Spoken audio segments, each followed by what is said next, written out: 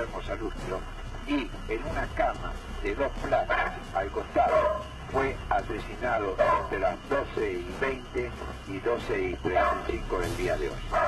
El episodio genera cuestionamientos desde todos los sectores y una fuerte autocrítica dentro del mismo PRT-ERP. El mismo día de la muerte de Salud,